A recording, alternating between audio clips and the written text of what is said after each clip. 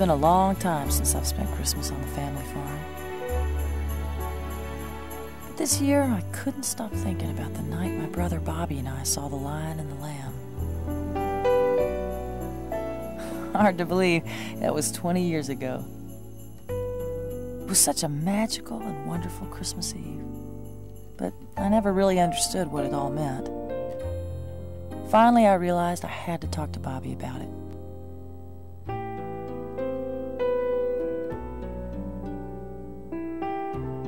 As soon as I saw the barn, that night came back so clearly to me.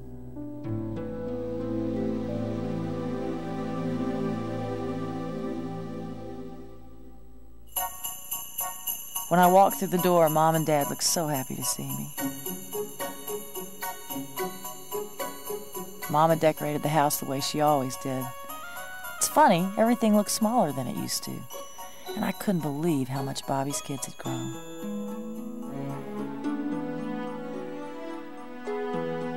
I found Bobby in the kitchen, as usual.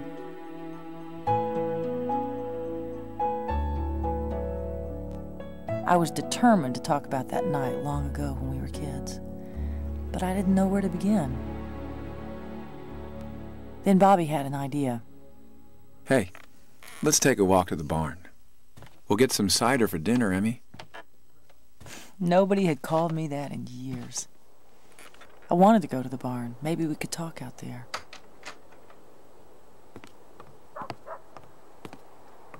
The minute we stepped outside, we both looked up at the clear winter sky. Do you remember the last time we saw a star like that? How could I forget? It was a miracle. You know, I never told anyone about the lion and the lamb. Hmm, me neither. Who would have believed us? Are you sure it really happened? I know it did.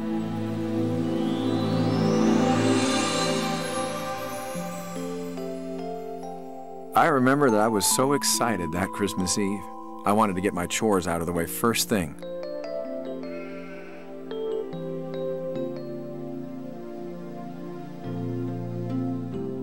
I couldn't believe you and Dad were in the barn so early. That sheep was going to have a lamb, and I wasn't about to miss it. Well, we should have known right then that there was something unusual going on. Who ever heard of a sheep giving birth in the winter? It had been a rough night. I didn't want to leave her. Dad had to practically tear me away for breakfast.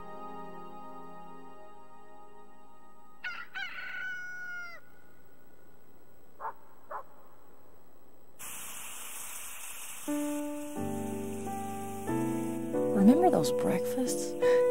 Eggs, pancakes, sausages, oatmeal. and I used to eat every bit of it. Me too, but not that morning. Oh, that's right. I'd almost forgotten Bobby's solemn vow. I will not ruin my appetite for Mom's Christmas Eve dinner. So while we were stuffing ourselves, you just sat there pretending not to be hungry. Well, I figured that if I didn't eat anything all day, it would make dinner taste even better. But I've got to tell you, it was torture with all that food there on the table. If I had known at breakfast what that day was going to bring, I would have made sure that I put something in my stomach.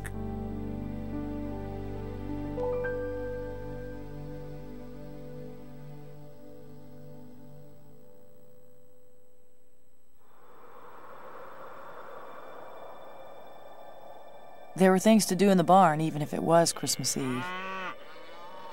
When the sheep went into labor, she really had a hard time. I was so glad Dad was there to help out.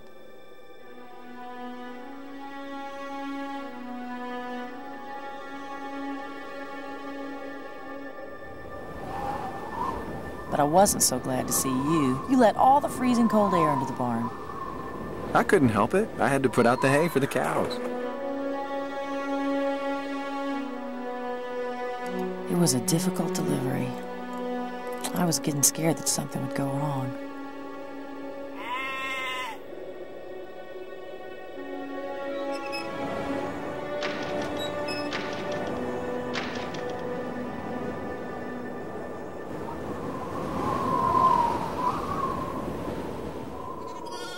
Happened. Our lamb was absolutely perfect. Even though Dad never got too excited, I could tell he was really happy the lamb was okay. Yeah, well, so was I. I just didn't have any time to enjoy it, because the next thing I knew, I was flying through the air.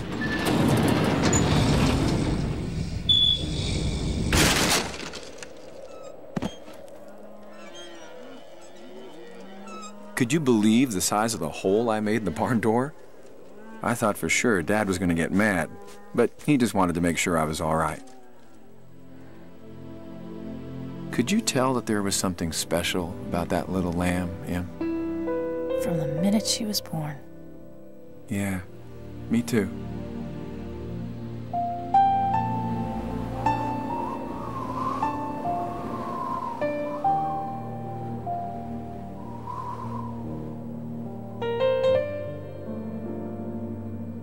Was so peaceful in the barn that day. We had no idea what was in store for our lamb.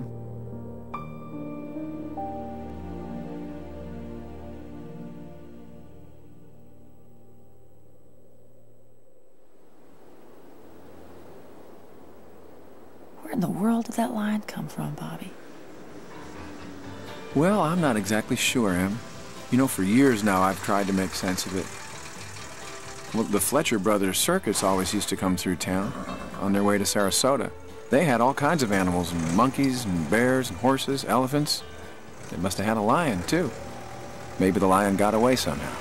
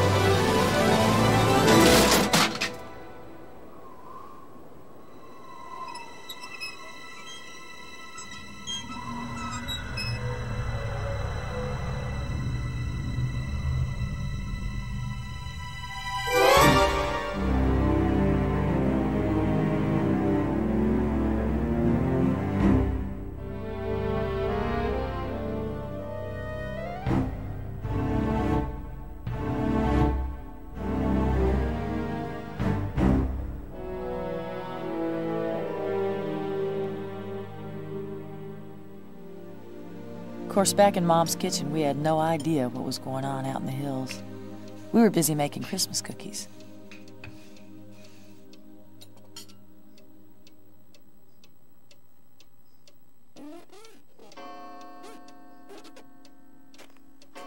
Hmm, and then Dad came up from the barn.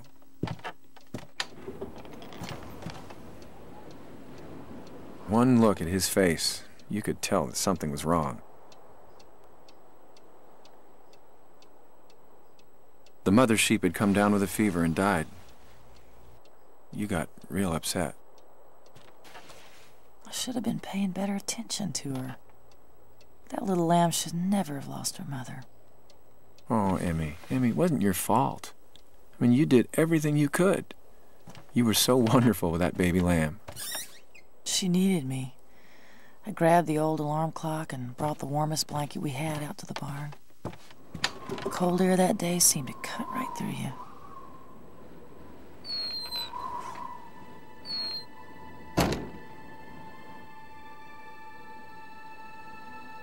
The lamb was so tiny and so helpless. I put the clock next to her so she'd think the ticking was her mother's beating heart. Then I wrapped her up in the blanket.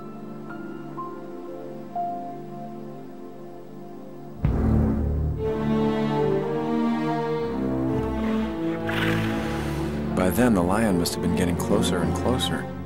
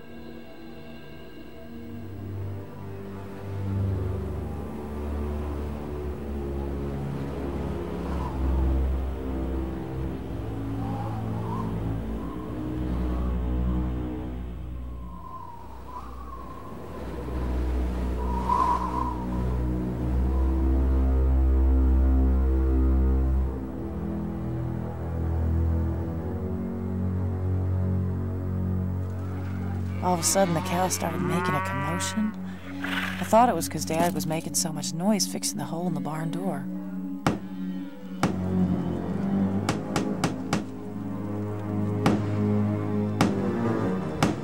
But even when he stopped hammering, the cow still wouldn't settle down. I could not figure it out.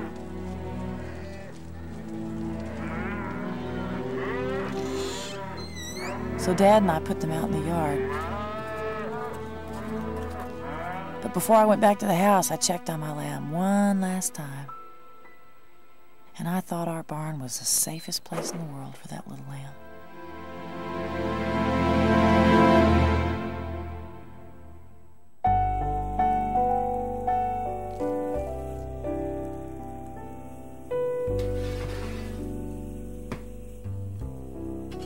Mom was making a feast, but all I had on my mind was the lamb.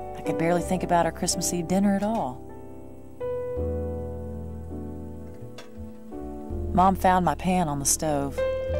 I was warming milk for the lamb. I wanted to take it out, but Mom showed me how to test it. And we decided it wasn't ready yet.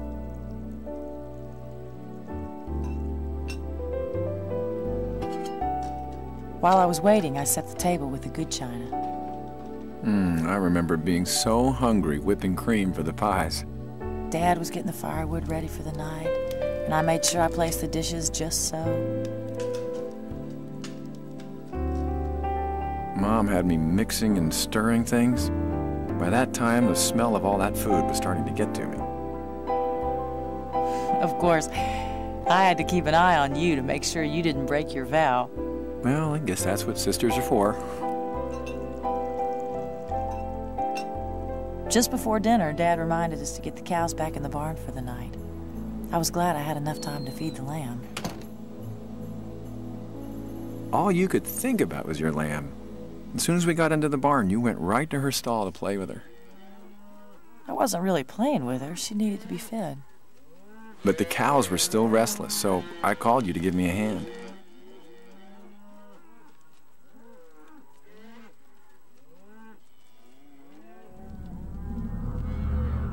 As I headed out, I heard something. Or at least I thought I did. But everything seemed okay. All I remember is not being able to get those cows to budge. And we tried every trick in the book, too.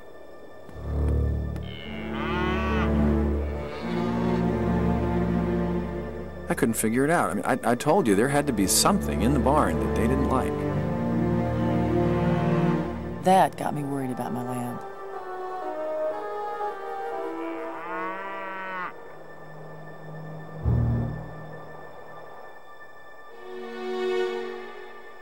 Couldn't see anything wrong, and the lamb was just fine. I thought I heard a noise in the hayloft, so I went to check it out.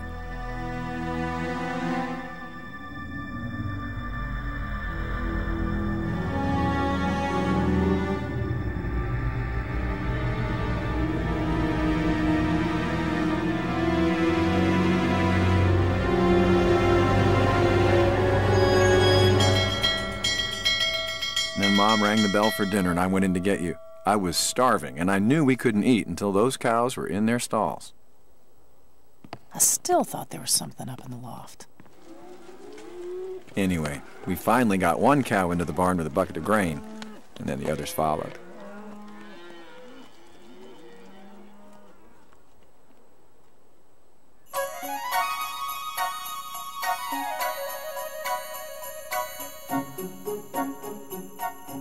Our table was beautiful. It actually made me think about something besides the lamb for a while. I didn't want to touch anything. you were an eating machine that night. Yeah, I was starving. I hadn't eaten a thing all day.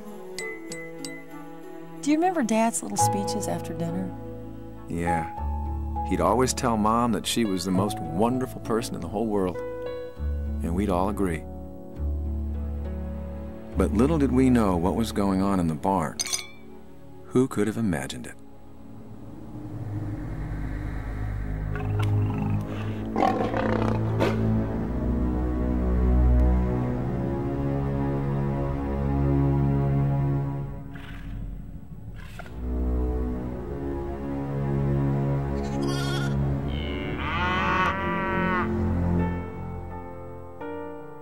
Even singing Christmas carols had a different meaning that night. I kept thinking of our baby lamb. Well, I had other things on my mind, like opening my presents. And you know, Dad always seemed to know just what I was thinking. Hey, remember my present that year? My pocket watch. I still use it, too. What was your present, Em? Hmm. Grandma's cameo brooch. I couldn't wait to wear it. It's been in our family for as long as anyone can remember.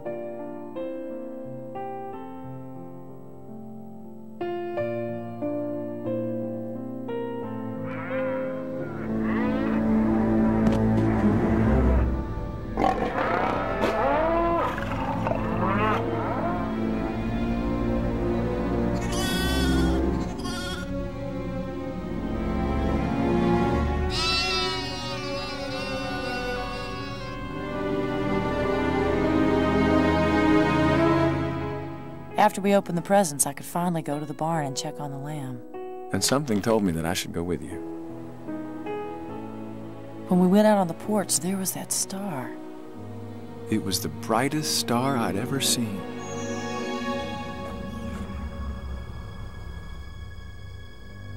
Wasn't it eerie in the barn? It was totally quiet. The cows didn't make a sound.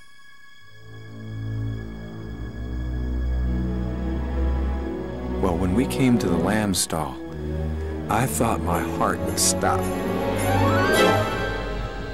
I have never been that frightened. And then the lion woke up.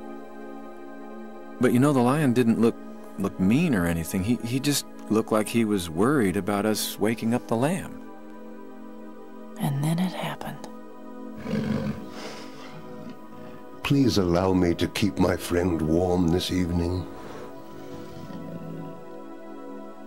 We're both by ourselves on this special night, and we need the comfort the other provides. I'll never forget those words as long as I live. It seemed like some kind of music. I remember feeling a deep calm settle over the whole barn and into my bones. And then the lamb spoke. May peace be in everyone's heart. I was speechless. I, I wanted to stay, but I felt like we should leave them alone.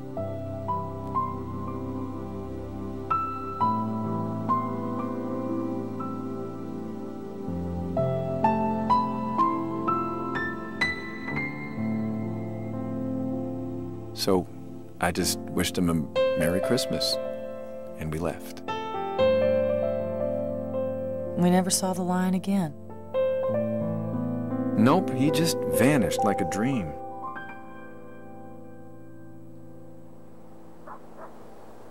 It was as if the real spirit of Christmas filled that night. Yeah, and it was so strong that nothing in the world could overcome it. I wish everyone could feel that spirit. Everyone can, Em. At Christmas time, we remember that we need one another, just as the lion and the lamb did long ago. Maybe that was the true meaning of that night. We can all find peace in our hearts. Hmm. Let's hope so.